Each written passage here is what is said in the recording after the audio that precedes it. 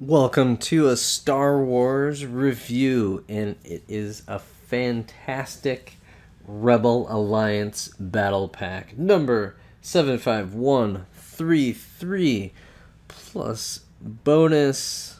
We got Sabine Wren. Let's go. This was, uh, uh, if you check out one of my previous videos, you will know that uh, this was a Mercari purchase, and boy, I struck gold on this particular set. Originally, I was looking for uh, getting some additional rebels to kind of for my Tatooine mock, which is right back over up in there, and uh, just because I love the idea of uh, for the Rebel Alliance having more than just humans. Of course, we like our humans.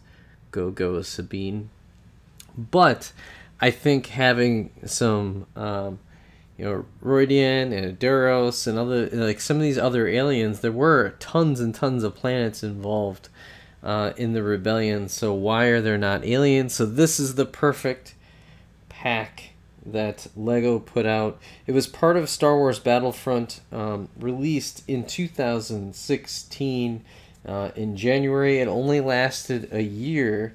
Uh, I kind of wish it lasted like another year. I probably would have gotten maybe a couple of these. so, um, and again, the all four of these figures are unique to the set, and I would say overall, this is sets holding its value. You know, used uh, again. Originally, this was only twelve ninety nine.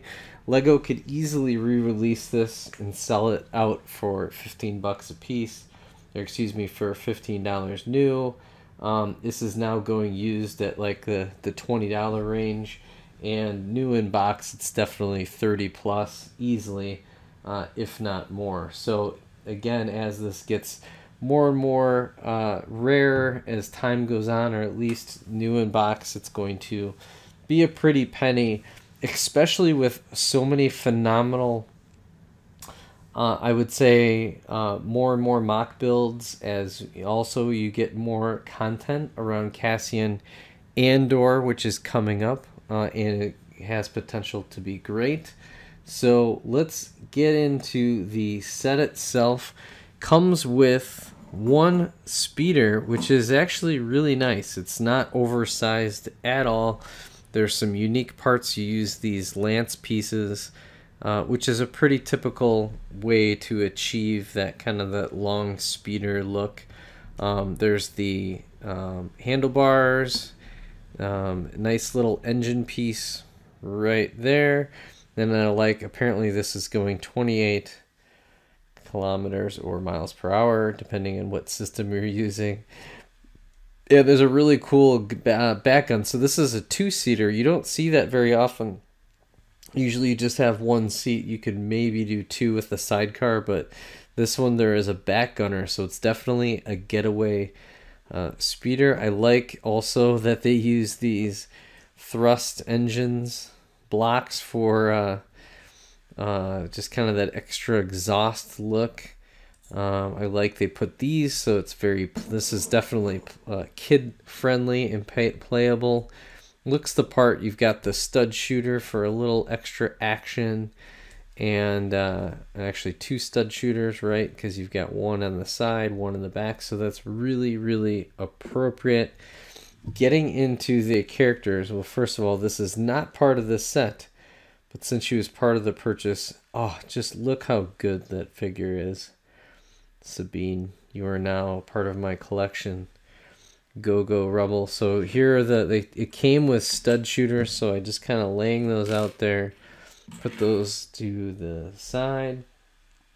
And let's jump into the figures. So number one, going uh, to the uh, right to left is this guy right here. He looks very sophisticated.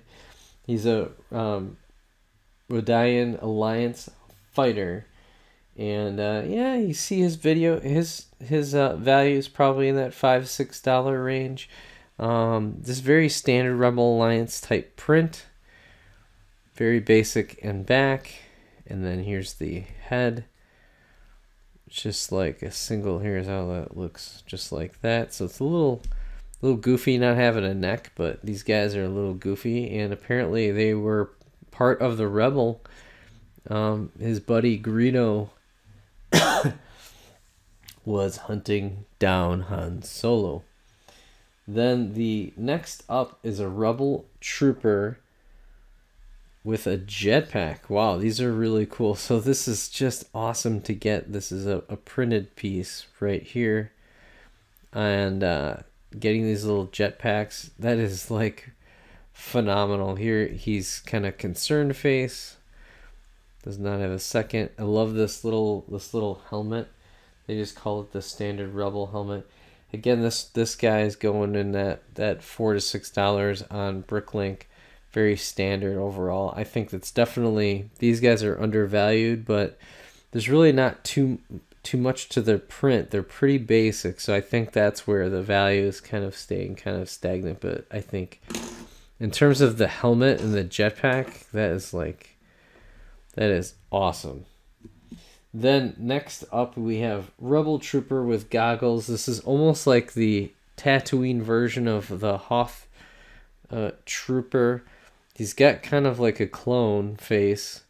There he is. He's got grenades, all sorts of. He's a really full like officer here, um, or a trooper in this case. So there we go.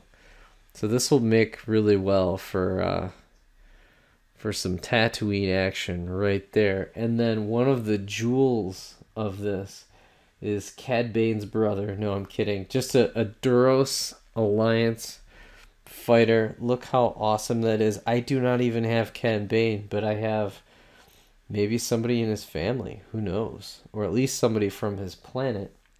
So he's just an Alliance fighter with that same uh, jetpack. There we go. Um, so, and then really a lot of the same, pretty similar printing. So he's got the, um, the the feet itself kind of match the Rodian fighter, um, but then this matches the other Rebel trooper. So real cool overall. I'm super glad to have gotten this back, this battle pack.